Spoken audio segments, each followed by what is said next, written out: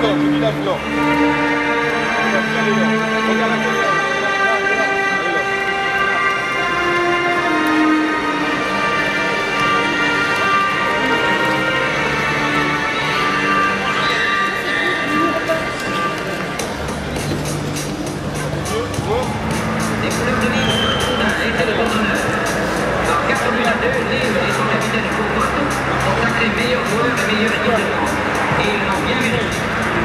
M. Vincent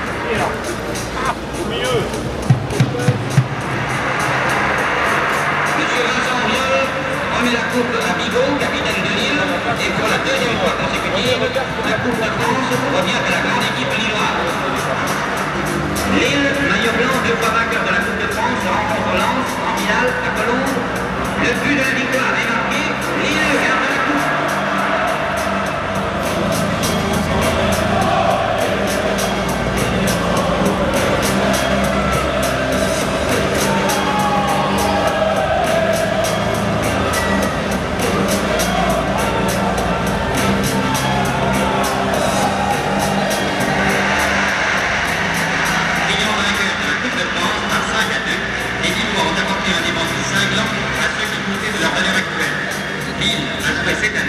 meilleur de ces sept finales d'après-guerre.